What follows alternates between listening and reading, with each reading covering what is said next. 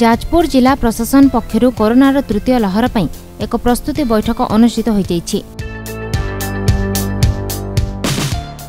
ଭାରପ୍ରାପ୍ତ ଜିଲ୍ଲାପାଳ ଅକ୍ଷୟ କୁମାର ମଲ୍ଲିକଙ୍କ କାର୍ଯ୍ୟାଳୟ ପରିସରରେ ଏହି ବୈଠକ ଅନୁଷ୍ଠିତ ହୋଇଥିଲା।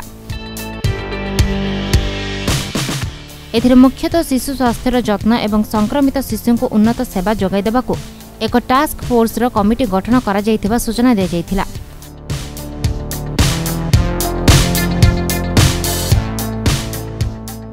କରୋନାର ମୁକାବିଲା ପାଇଁ ସ୍ୱାସ୍ଥ୍ୟ କର୍ମୀମାନଙ୍କୁ ଉପଯୁକ୍ତ ତାଲିମ ପ୍ରଦାନ ସହ ଆବଶ୍ୟକ ଔଷଧ ଅନ୍ୟାନ୍ୟ ବ୍ୟବସ୍ଥା ଯୋଗାଇ ଦେବାକୁ ନିଷ୍ପତ୍ତି ହୋଇଥିଲା।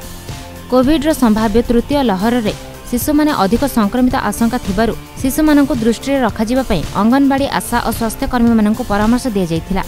ଏହି ବୈଠକରେ ଜିଲ୍ଲା ମୁଖ୍ୟ ଚିକିତ୍ସା ଅଧିକାରୀଙ୍କ ସମେତ ଜିଲ୍ଲାସ୍ତରୀୟ ଅଧିକାରୀମାନେ ଉପସ୍ଥିତ ଥିଲେ। ଯାଜପୁର ଅଭିମନ୍ୟୁ ମିଶ୍ରଙ୍କ ରିପୋର୍ଟ ଓଏନ୍ଏ ଖବର।